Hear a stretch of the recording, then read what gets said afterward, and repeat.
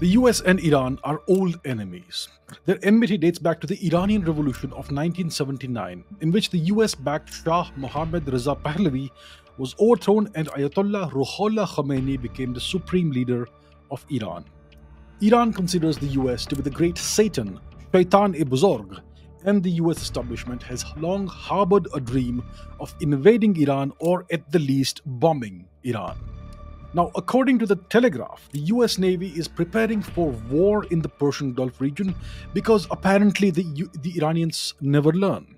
And this article appears at a time when unusual US military deployments are happening in a rather low key manner in the Persian Gulf region and other parts of the world as well.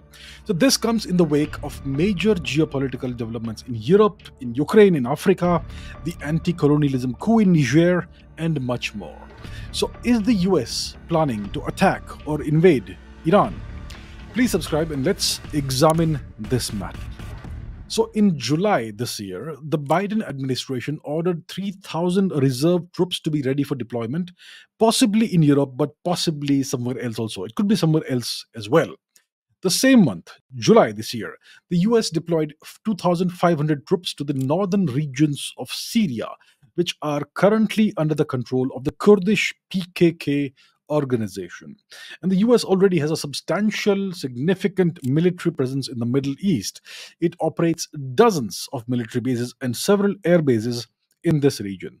The US, if you look at the map, has military bases and troops in Saudi Arabia, in Iraq, in the UAE, in Bahrain, in Oman, in Syria, in Turkey, Jordan, Egypt, Kuwait, possibly Pakistan, possibly elsewhere as well and the US has a significant and powerful naval presence in this region as well. And a lot more US military hardware is being moved to the Persian Gulf. Now, the US accuses Iran of routinely harassing commercial vessels in the Strait of Hormuz and the Persian Gulf region. So, this could be the pretext it needs to attack Iran if it wants to. And if we look at past history, the US has taken military action against Iran on multiple, on multiple occasions in the past. If you go back to 1988, a US warship, USS Vincennes, shot down Iran Air Flight 655 while it was flying over Iranian territorial waters in the Persian Gulf. And this ended up killing about 290 innocent civilians. More recently, in 2020, the US assassinated the Iranian general Qasem Soleimani via a drone strike in Baghdad in Iraq. And of course, Iran is involved in various proxy wars in the Middle East and Persian Gulf region. It's involved in proxy wars of some kind of the or the other in Iraq, in Lebanon, in the Palestinian territories, Gaza, Israel, that region, in Syria, in Yemen, there's this Iran Israel proxy war that's going on. So Iran is involved in all these various proxy wars as we speak. And the US and Israel are concerned about Iran's nuclear program, especially Israel. So to unpack all this, to understand the history as to why all of this is going on and what are, what are the causes of this, let's examine the history of this region and the history of Iran and the US Iran relationship. And let's start around 1900. So, in the early 1900s, the Qajar dynasty ruled Iran, and it was weakened by that point by political and economic instability, which, uh, and the causes of that go back to the 19th century, which we will not go into for today.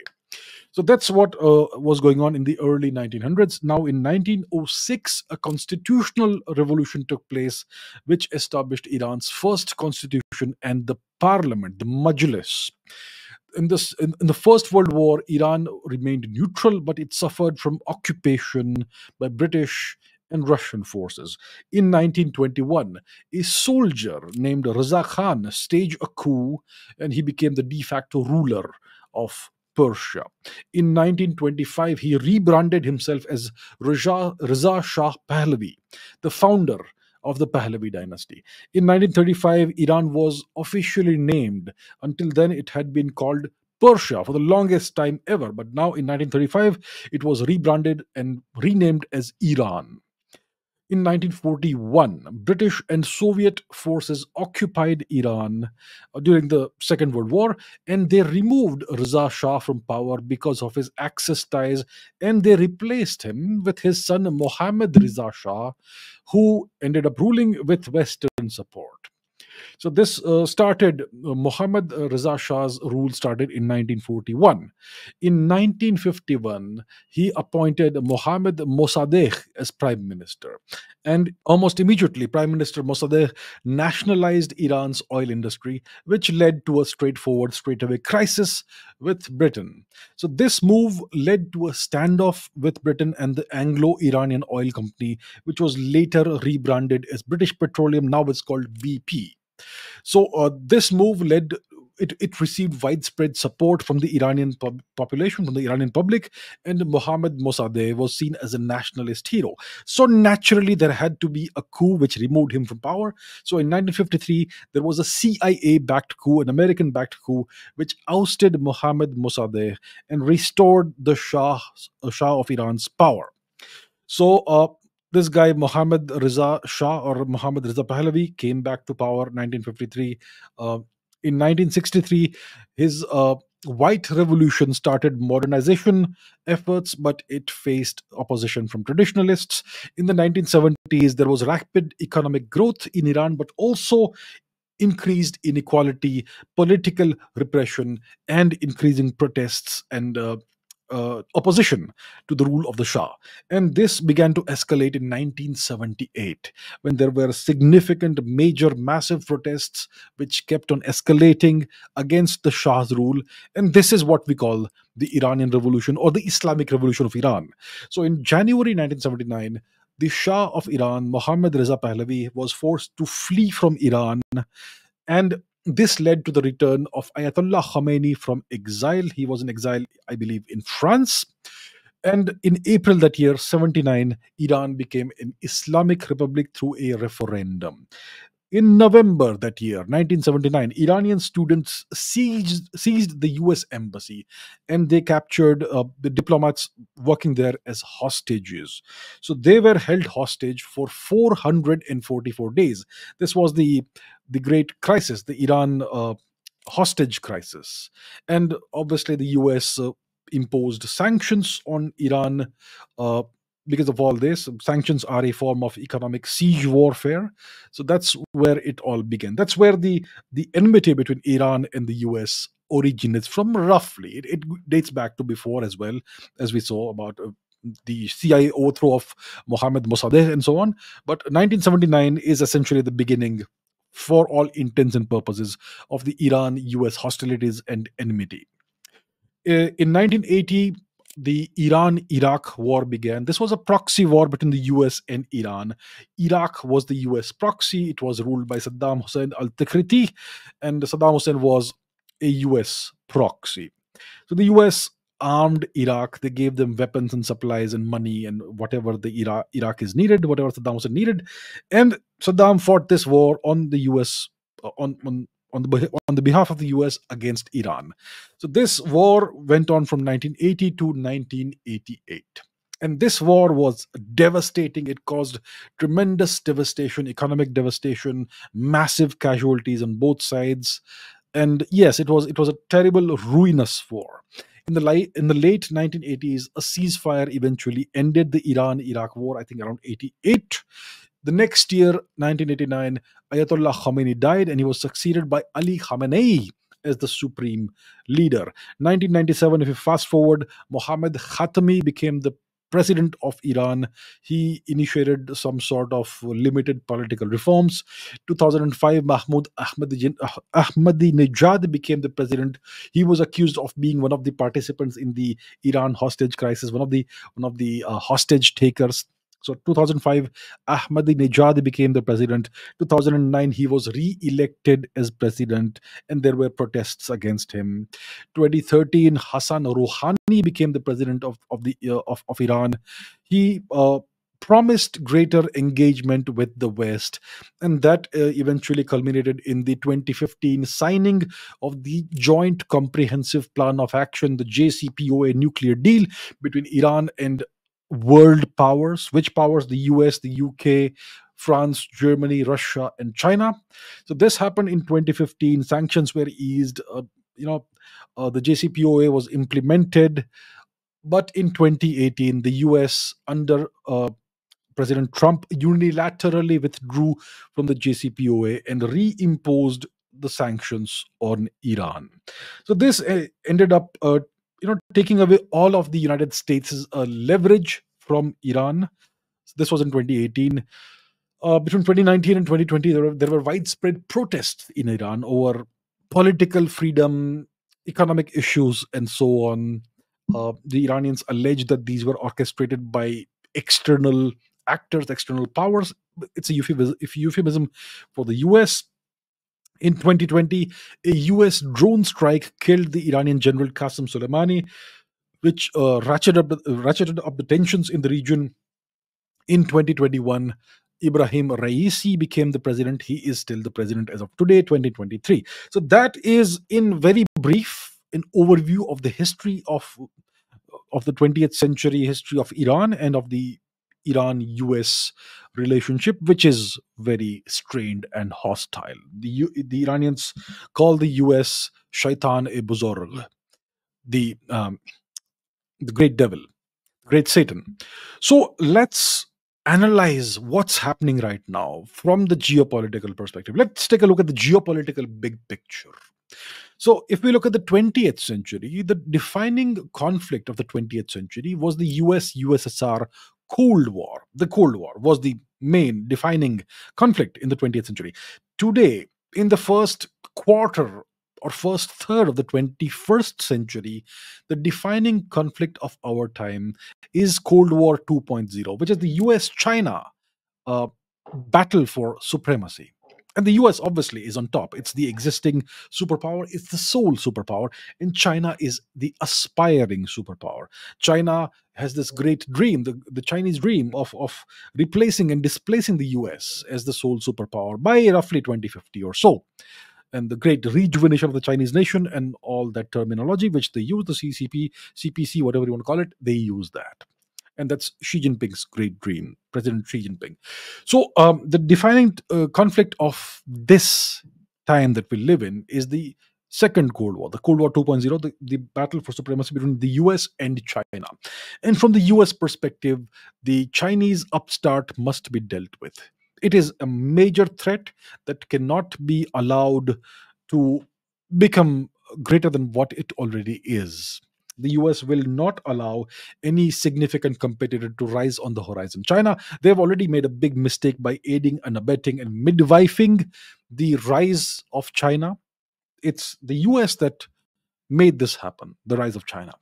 And now they need to find a way to deal with China. So the US wants to deal with China. China must be dealt with. The US needs to chip away at the Chinese threat. The US wants to gradually erode the Chinese threat without actually engaging in a hot kinetic conflict or war with China. So they have set the geopolitical chessboard. They have been setting, they've been placing, putting the pieces in motion, in place, and uh, we see all of that happening right now in a, not quite in slow motion it's happening rather rapidly. We know what's happening in europe. Europe is in crisis. We have the ukraine war that's going on over there. Europe has entered a recession. It's being starved of cheap energy of affordable energy. So it's it's entered a recession. Uh, that's in europe but we're talking about asia. So let's take a look at asia. So east of iran pakistan has been sorted. Pakistan, the Americans have sorted it after the ouster of Imran Khan. Imran Khan wanted to be neutral in the Ukraine conflict. Imran Khan wanted to be on China's side, but the US has ensured that Imran Khan was ousted. I have spoken about this in detail. And now Pakistan is firmly back on on the US side of the aisle. The generals are the, the power that re- really run Pakistan, and they have been dealt with. So Pakistan is sorted. Um, and recently, we heard the news that the Iran Pakistan gas, pipeline, which some were calling the Nord Stream of Asia, well, this has been scrapped. The Pakistanis have scrapped this uh, project, obviously because of US pressure. They are saying that we cannot, we are not in no position to withstand US sanctions or any other action. So we need to scrap this project. So Pakistan is clearly sorted. What about Afghanistan, the other eastern neighbor of Iran? Well, in the case of Afghanistan, there appears to be a secret deal between the Taliban and the United States. So in 21, when the US handed over Afghanistan to the Taliban on a platter, there were rumors of a secret understanding between the Americans and the Taliban. Um, and India also uh, expressed concerns about this. And now, recently, uh, the former Afghan vice president, Mr. Amrullah Saleh, who, he was vice president until 2021, August 21, when Taliban took over. So, very recently, Amrullah Saleh has, uh, Amrullah Saleh has tweeted that the Taliban are essentially a US proxy. And he says that the US are giving essentially a $60 million per week stipend to the Taliban, which makes the Taliban a US proxy, a US client, whatever you want to call it.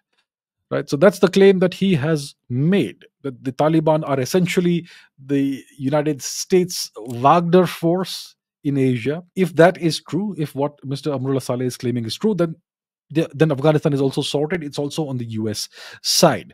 We know that that Iraq is under US control. It's been under US control since 2000 and, uh, 2003. Turkey is a NATO member, so it's on the US side.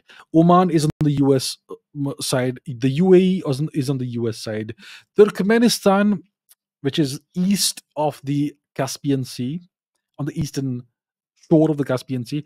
Well, Turkmenistan is in Russia's sphere of influence. It's in Russia's zone of what they call it's uh, their exclusive influence. But Turkmenistan, one could can say, is open to lean towards the US. It's looking for an opportunity, possibly. So that's what Tur- that's the deal with Turkmenistan. Azerbaijan is pro-Turkey. It's pro-US. Kuwait is pro-US. So if you look at the map of all this, you will see that the US has essentially encircled Iran that's the deal. That's that's the situation right now. So the US needs to deal with China. China is a significant threat. China obviously is entering a period of demo- demographic decline which could become a demographic disaster but for the next 20 30 years china is a major force a force to be reckoned with and they are bolstering up their military they're beefing up the military muscle they are churning out warships like sausages the chinese mean business and the chinese are a major threat right now. And so China needs to be dealt with. So the question is, why is Iran important vis-a-vis China and also Russia? Right? That's the question. The, the other major threat for the US is Russia. So why is Iran important? in this context. So we have to understand that China is expanding its influence in the Persian Gulf region. We know that the Chinese have this naval base in Djibouti, their only naval base in Africa then we have to look at the fact that in uh, around 2020 roughly around that time the chinese signed a 400 billion dollar comprehensive strategic deal with iran. It's a 25 year deal which covers lots of critical areas like security and economics and finances infrastructure petrochemical infrastructure and whatnot. It's a major comprehensive strategic deal with Iran that the Chinese have signed. And obviously, it's all about energy, it's all about oil. So it's a comprehensive deal. And as the years pass, it's a 25 year deal. So as the years and decades pass, the two economies of Iran and China will become more and more interdependent and interconnected. And this will make it difficult for such an agreement to expire. That is the big picture perspective on this 25 year uh, 400 billion dollar strategic deal comprehensive strategic deal between the between the iranians and the chinese. So this deal makes iran an indispensable ally for china because iran since its inception let's say in 79, has declared the US to be its arch enemy. And Iran and China both oppose US global hegemony and dominance. So that's why Iran is an indispensable ally for China. And this agreement, this uh, deal, also includes stationing 5,000 Chinese troops inside Iran. We know that the uh, China Pakistan Economic Corridor also involved stationing Chinese soldiers on Pakistan territory and Pakistani controlled territory. And especially galling for India is the fact that the Chinese soldiers were stationed in Pakistan, temporarily Pakistan occupied Jammu and Kashmir and Gilgit Baltistan right so this iran china agreement involves stationing some 5000 chinese troops inside iran. And then there's the the fact that that uh, we have the international north south transport corridor which connects india with iran and azerbaijan and russia and europe. And china also would like to be a, a part of that. And they will obviously um, uh, try and be a part of that. So all of these things are interconnected now let's also take it take a look at the broader region the gulf region the persian gulf region we uh, recently in december 2022 president xi jinping visited saudi arabia and they the two nations signed the China Saudi Arabia Comprehensive Strategic Partnership Agreement. So, this agreement is another comprehensive major agreement which uh, covers lots and lots of different areas. They signed 34 investment agreements as part of this deal and these agreements cover lots of very disparate sectors in various fields like green energy and green hydrogen and cloud services and information technology and housing and medical industries and transportation logistics think of anything and it's essentially more most likely covered but overall it's once again about energy it's about oil and gas mainly about oil. The chinese are they they are they crave energy and they would like to take care of their long term energy needs their energy security requirements. That's why they are very interested in iran and saudi arabia and they've you know uh, wrapped up these major deals with these nations. And of course, Saudi Arabia wants to be part of BRICS. Iran has also expressed uh, its desire to become part of BRICS. Uh, so, all of that also has to be taken into perspective. And then we have the Saudi Iran rapprochement, which uh, both nations have given credit to China for brokering this agreement. So this is an agreement that happened in April 2023. The the the the, the Saudis and the Iranians they restored diplomatic relations after a break of seven years. So uh, in 2016, I believe uh, the two nations had broken off diplomatic ties after the Saudi execution of a Shia sheikh called uh, Nimr al Nimr so that's in 2016. The two nations broke off diplomatic relations, and now they have given China the credit for them re-establishing diplomatic relations. So it's clear that the Chinese footprint in the Persian Gulf region is increasing, it's expanding. The Chinese are gaining influence in this region. The US is in a corresponding fashion losing influence in the Persian Gulf region. It's losing influence but not power. And the US have gone after the Saudis in the past few years. We have seen that. It all began with the Jamal Khashoggi affair in 2018. Um, the Americans have, have targeted Mohammed bin Salman, the, the crown prince of Saudi Arabia, and they have alienated alienated him. And he has been making all these moves that are very dangerous from a personal perspective. It could, you know, I mean, you go against the US, you could pay a significant, very steep price. But that's what he's doing thus far successfully. Uh, so the Saudis are still, you could say, a US proxy. They they buy enormous amounts of US weapons every year. They have a large number of US bases on their soil. They have US soldiers on their territory. So you could say that that just like to a to a certain extent, like Japan and like South Korea, the Saudis also you can say are to some extent under, under US military occupation. So the US influence is declining, but the US power is not declining in this region. So that brings us back to Iran. So Iran is the nation that's essentially encircled by the US. And the US has always had this dream of invading Iran and teaching Iran a lesson and putting Iran in its place. And that's the deal. So if the US were to invade Iran, this would also end its fears about Iran's nuclear program. So the Iranians have uh, have these ambitions of, of becoming a nuclear power. Nuclear, they would like to pro- produce nuclear energy and they would also like to have nuclear weapons.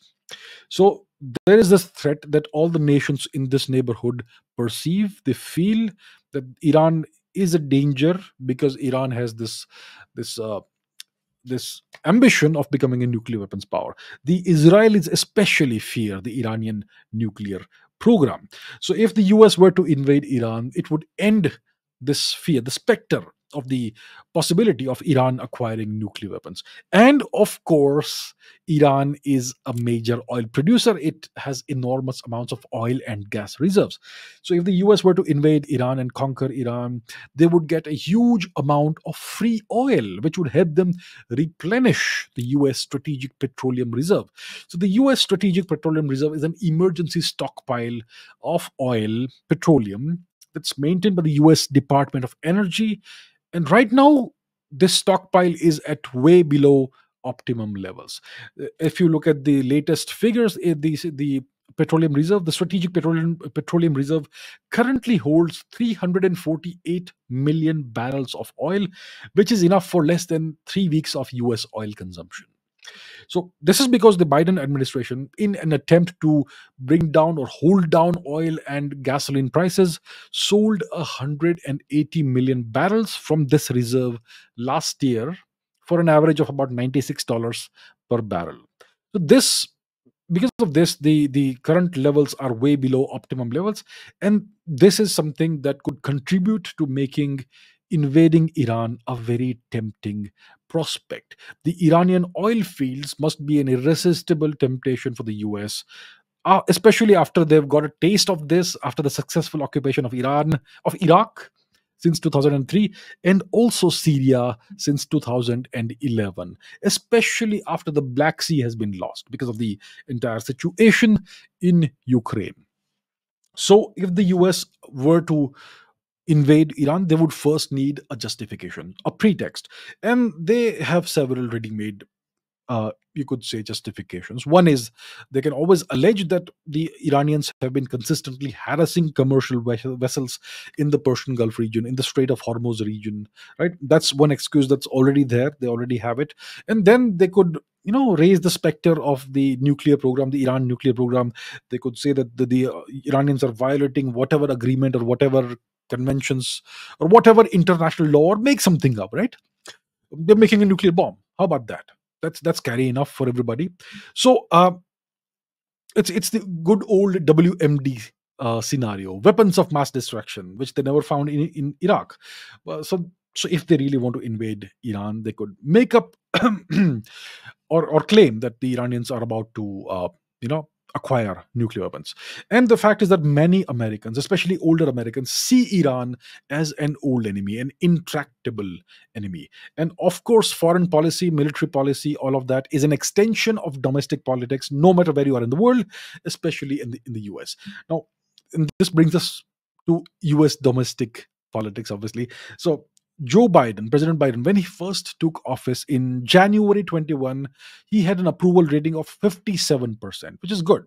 But uh, in recent months, multiple polls have shown that Biden's rate rating approval rating is hovering around the lay, around the high 30s and low 40s 35 to 39%, maybe 40, 41% approval. So as of right now, his approval rating is, I think it's 40%, and disapproval rating is 54%. So the Biden administration is not doing great. I don't think the US public has a great deal of trust in in an extremely elderly person like Joe Biden and his rather incompetent vice president uh, Kamala Harris right? So the biden administration is not doing well. It's not doing great. The public is not uh, showing a great deal of trust in this administration.